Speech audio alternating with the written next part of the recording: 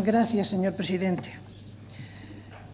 Bien, por un lado, decirle que en algún momento de mi intervención anterior, haciendo referencia al estudio hecho por las distintas universidades, dije que solo utilizaba aquellos argumentos referidos a las causas de violencia, al comportamiento ante ellas y las medidas, mm, porque yo quería sustanciar con eso las razones para presentar la moción.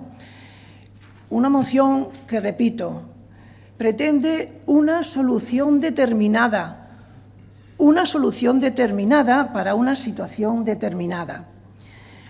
¿Que hay otras medidas de prevención que no se proponen? Claro que sí, muchas, y será otro momento, pero ese es otro debate. Esta es una moción que viene a pedir el acuerdo entre las universidades para conseguir una situación viable a aquella persona que libremente, repito, libremente decida salir de ese entorno en el que no quiere seguir. No se la expulsa, no se la erradica, no se la saca de su contexto. Dice que expulsemos al agresor y que dejemos a la víctima. Mire, a la víctima se la deja si quiere seguir.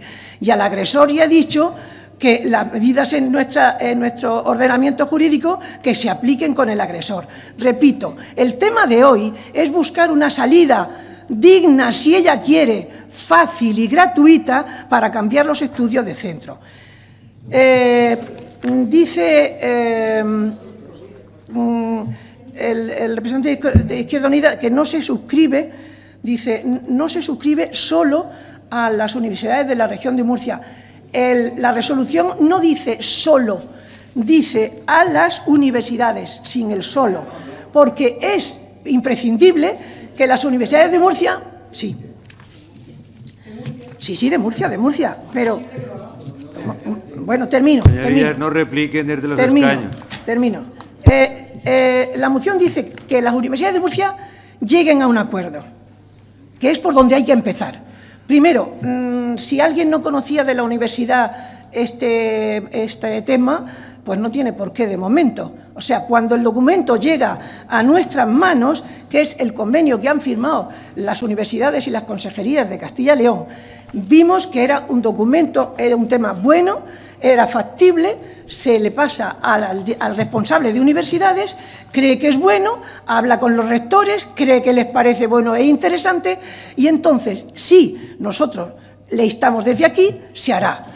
Como efectivamente las universidades de, Murcia, que son las que empiezan a llegar al acuerdo, lo consiguen, entonces, dado que no conseguimos la duplicidad de asignaturas, en vías de poder ofrecer esa eh, oportunidad, se hablará y de hecho eh, sabemos de la buena aceptación de ello también en las universidades eh, vecinas. No creo que sea ninguna barbaridad ni creo que haya que retirar la moción. La moción, seguimos diciendo, es una buena iniciativa que ha sido acogida fantásticamente por quien la ha leído sin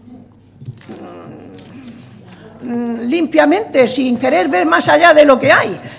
Y, nada más, el Grupo Parlamentario Popular presenta esta moción para conseguir ese acuerdo entre las universidades que permita instrumentalizar un procedimiento para el traslado entre ellas de estudiantes que hayan sido objeto de violencia de género. Siento de verdad la actitud negativa que pueda haber por parte de los otros grupos eh, que eh, va, a impedir que este acuerdo pues, pudiera salir con el apoyo de todos nosotros. Eh, nada más, señor presidente. Gracias, señoría.